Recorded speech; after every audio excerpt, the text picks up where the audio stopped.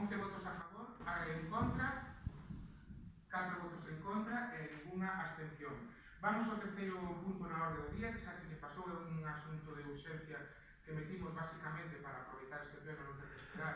eh, a un pleno posterior, xa foi informado o portavoz da oposición, basicamente unha delegación